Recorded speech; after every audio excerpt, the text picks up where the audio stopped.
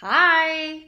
I just want to say I hope you enjoyed last week's episode of Leadership Dolce. And if you missed it, uh, you can find it in my private community. And uh, the only other way that you can see it is uh, by signing up for my newsletter because I will send it out as a follow up in my newsletter, um, which you can sign up for on my website, newbornevolution.com.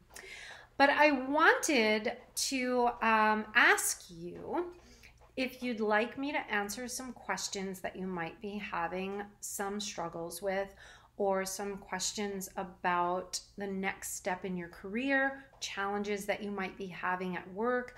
Maybe you have a toxic boss, maybe you work in a toxic work environment.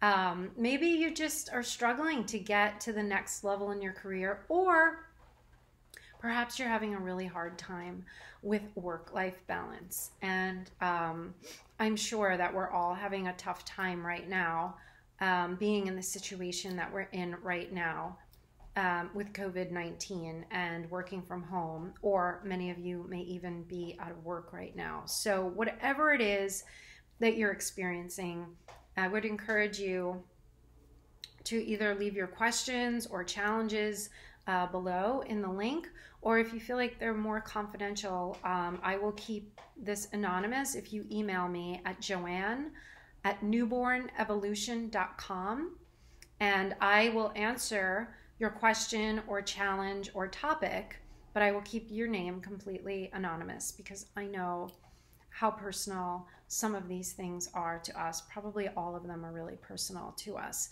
So I just wanted to thank you for joining me last week, and I will see you again this coming Monday at 7 p.m. in Newborn Evolution Global Leadership Vortex. And I can't wait to hang out with you again, and I can't wait to serve up my leadership dolce. All right, see you Monday. Bye.